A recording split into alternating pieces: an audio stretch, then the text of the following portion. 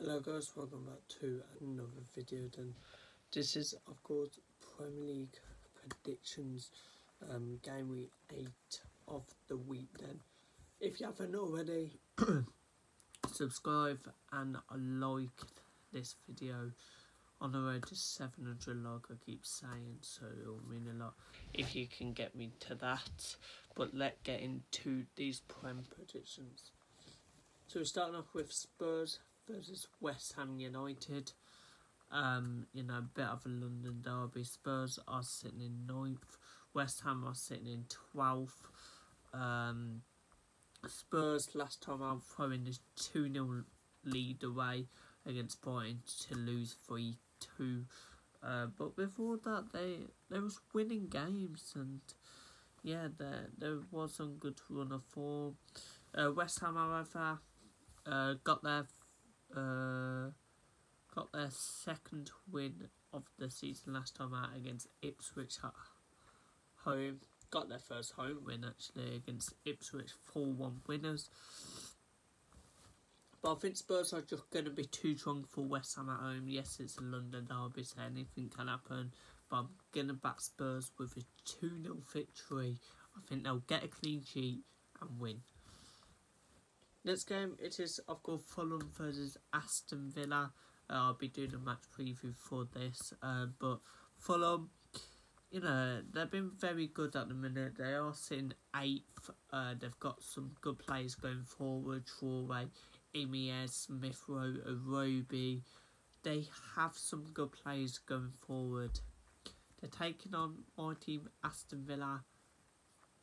Got all the injuries back now. Uh, Mings will be back. Kamara will be back. John McGinn will be back. Uh, Onana will be back.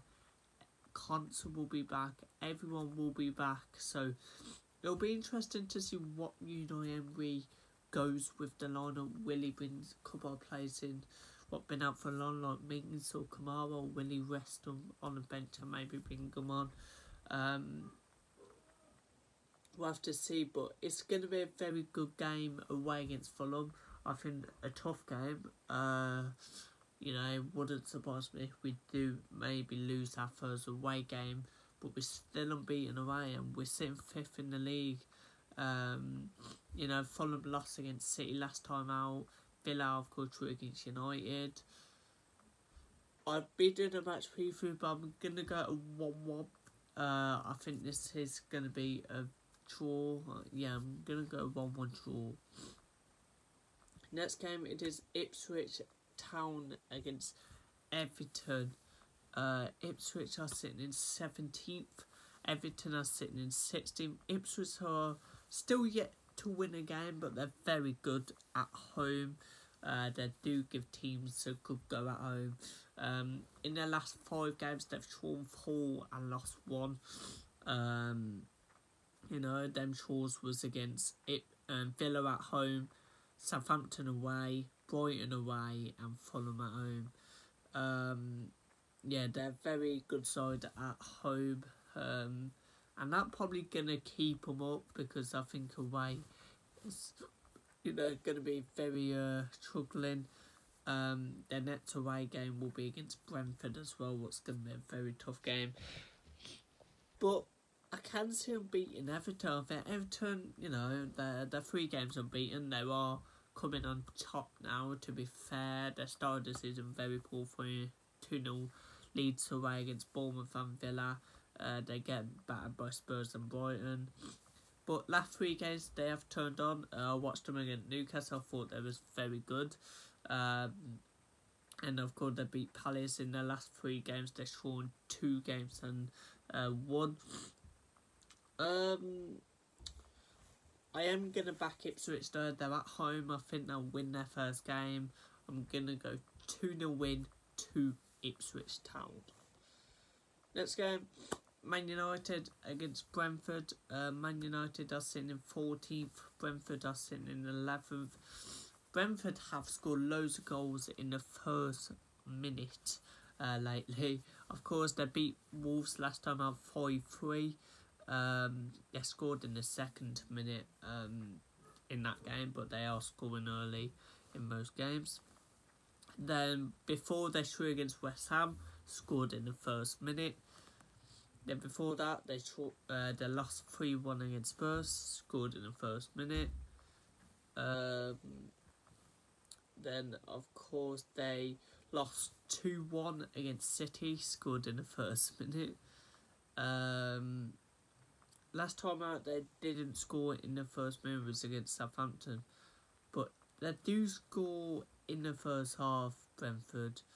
Um, I think it only one time what they ain't scored uh, in a game and in the first half, and that was against Liverpool, the second game of the season. But they're taking on Man United, who have been very awful. I thought against Villa they was okay. I thought both teams was very average. Um, but yeah, I thought Man United was okay against Villa. That probably the best I've seen them play. Um, but they have won in uh, five. Uh, the last win was, of course, EFL Cup 7 0 win against Barnsley. But uh, the last win in the league was a 3 0 victory away against Southampton. The last home win, though, was against Fulham uh, on the first game of the season. So they want to win at home. Um, and I think going against Brentford is always going to be a very tough game. They're a very good side. I like uh, Thomas. Um, what's his name? Um, Thomas Frank. I like him as a manager. But you see, Brentford, they've got loads of injury like Man United. Brentford have Hickey, uh, Gaffer Nunes out, Thiago, uh, Silva, Jensen, Damansaki, Rico Emery, and Wissa. And Man United, Harry Maguire, Mainoo, Yeno, Garnacho apparently is out, but I don't know if that's true. Luchel, uh, that Okrati, uh, Mason Mount, and that McCockle. So teams have loads of injuries out. We do know that. Um, I'm gonna back Brentford and go three one win to Brentford. I think they'll score a couple. I think they've got two. I think it could be two one either way or maybe draw. But I back Brentford with a three one win. I think they'll score early on as well. Um, next game, Newcastle United against Brighton. Uh, if Albion Newcastle are sitting in seventh, Brighton are sitting in um sixth. I think both teams are very good, and I think both teams are going to be up there at the end of the season. Um, you know, you look at Newcastle United coming up with a nil against Everton. Unfortunately, Anthony Gordon against his whole club, Mr. Penn. I think they're in the middle. They can go toe to toe against some big boys like Man City. They've got a point, uh, one one. They're very good at home, Newcastle. Um, we know that, and they are unbeaten at home. Um, yeah, they're unbeaten at home. But Brighton, I think they're a good side. They do concede goals at times. Um, they've only lost one game this season, and that was against Chelsea away. So I'm gonna back Brighton. I think be Shaw or Newcastle win, but I'm gonna back Brighton with a 2 1 win. I think they'll just get a late goal to win that game. Next game, Southampton against Leicester City. Southampton 19th, Leicester 15th. Uh, I think Leicester will stay up this season. I think they'll just have too much. Uh, I think it'll be worse the team has done them. Leicester getting their first win last time um, against Bournemouth with a 1 0 win at home. Still not one away though. Um, you know, we know how good Leicester can be at times. You know, they've got some good players like Jamie Vardy. Um, you know, Jamie Vardy is a very good striker at times. Um, and yeah, I think taking on the Southampton side, who have only picked up one point this season, They've lost their last two, three, one, and they actually went one 0 up against Arsenal. Um, but yeah, I think Southampton need to try and put up a performance at home. Um, you know, not winning the game. They're only point coming against Ipswich uh, at home. Um, so I'm gonna back Leicester to get another clean sheet and another one. I'm gonna go one 0 Leicester. Uh, I think they'll just nick it. I think it'll be. I think Southampton will put up a performance and have a couple of good chances, but I just think they don't have a main striker what can finish at times. Um, Cameron Archer is a very good striker, but is a Premier League quality. Um, so yeah, I'm going 1 0 Leicester. I think they'll score a late goal. Next game, it is Bournemouth against Arsenal. Um, Bournemouth are sitting in 13th, Arsenal are sitting in 3rd. Um, you know, Bournemouth, we know how good they can be. They did lose last time out though, but before that they beat Southampton, but then before that they lost the last um, two. Um, when Bournemouth lose, they don't score. I've seen that. They've lost the last well, they lost three games this season, and all them defeats they ain't scored in. 1 0 defeat against Leicester, 3 0 defeat against Liverpool, and a 1 0 defeat against Chelsea. So, we're seeing that uh, two of them was away, um, to be fair. Taking on an Arsenal side who at times can be very mad because I think do put up good performances. We know that the last two seasons finishing second, um, but we know that they can be very just yeah they they don't put up performances at times. But I know that they beat Southampton last time out three one. Uh, then beat PSG in Champions There, I think they're what. Well, they They've lost a game this season. They're still unbeaten. Um, you know, they're very. You know, I think it's only them and Manchester City who are unbeaten in the Premier League. Even top of the league Liverpool have lost a game this season. Um, what's very mad. But I'm gonna back Arsenal. I think they'll just win. I think it's gonna be tough because it's at Bournemouth and Bournemouth can be a good side against some big boys. Um, of course, Villa got Bournemouth next uh, weekend. I'm gonna back Arsenal to win two one. I think Arsenal will just nick it, but I think it's gonna be a very tough one. Next game, then it is Wolves against Manchester City. Well, Wolves are sitting bottom of the league with only one point. Manchester City are sitting second. Um, look, Wolves, I think they can put up performances and score goals, but they their defensively is shocking. Look, 4 3 defeat last time out against Bournemouth. Uh, not Bournemouth, Brentford. They've scored three goals in the game, and when you score three goals, you should be winning the game. And look, they conceded five like it's it's it, ain't great. It really isn't. Um, and I do. Uh, will I say I feel bad for Wolves because I don't like Wolves, but I think you have to feel for the fans. Um, going every single week, paying a ticket, and seeing that shocking performance. Well, shocking conceding goals. Um, you know they've they've lost uh five three against Brentford. They I watched them against Liverpool. I thought they were very good, and I was unlucky to not get something out of that at home.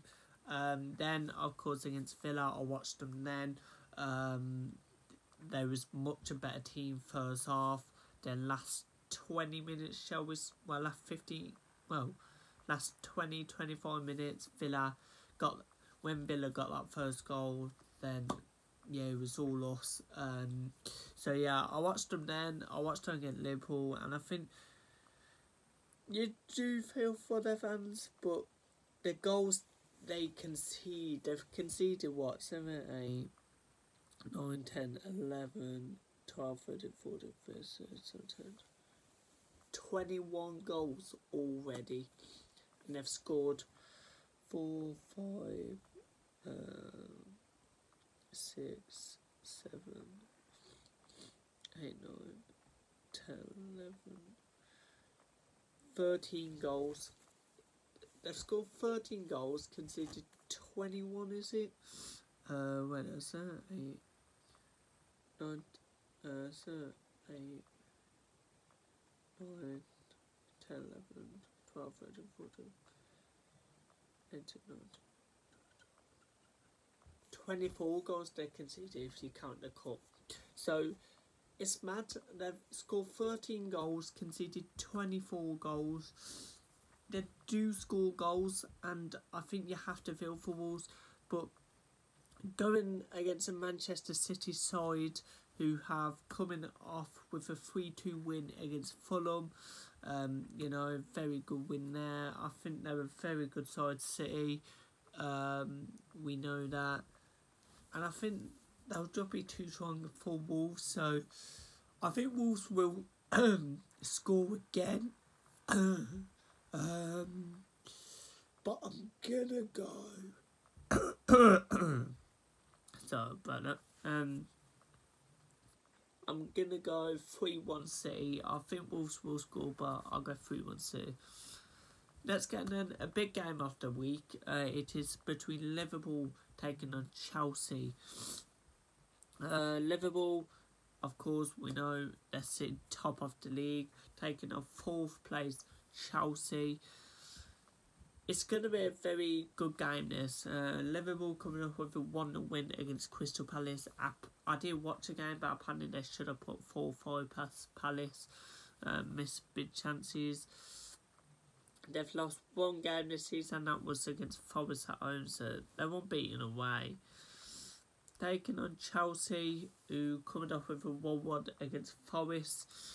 Um, I think this will be a draw, to be fair. I'm to go 1 1. I think people are saying, oh, it's to be a Desmond 2 2, but I'll go 1 1. I think both teams will, you know, Liverpool will go 1 0, Chelsea maybe get equalised in the second half, and, and I think it's going to be a good game and a 1 1 draw. And the last game, it is on Monday night, Nottingham Forest taking on Crystal Palace. Nottingham Forest are sitting in 10th place, Crystal Palace are sitting in 18th. Um, Forest coming up with a 1 1 against Chelsea, but haven't won in three. Uh, they are trying to go off now uh, form, and they'll want to try and win, get back to winning ways here. And Crystal Palace, they ain't won in what five, six, seven was they ain't even won a game, and this season. So I think Forest will get a clean sheet and a win. I'll go two 0 to Forest. There you go guys, that's my Premier League predictions game week 8. Hope you enjoyed the video, subscribe and like, and I'll see you on the next one. Peace out.